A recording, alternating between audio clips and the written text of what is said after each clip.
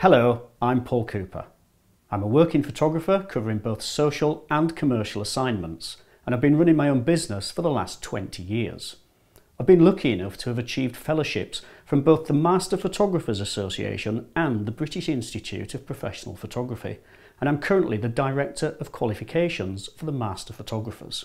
The principles of good photography have remained the same since its invention in the 1800s, and yet camera manufacturers still find ways to add an ever-increasing list of features to their new camera models. This course will show you very quickly which are the most important settings on your camera, the ones that you can set and then forget about, and the ones which you need to use regularly to make a real difference to your photography. All you need for this course is your camera and enthusiasm. Designed for new camera owners or those who are new to photography, this course uses general terms that you can then apply to your own specific equipment configuration. The aim is to get you up and running in a short space of time so you can start to enjoy the experience of taking photos using the automatic modes available to you.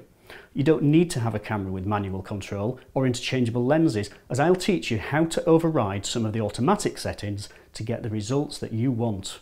Experience has shown me that the sooner you start taking photos, the sooner you will learn how to create fantastic images that you can be proud of.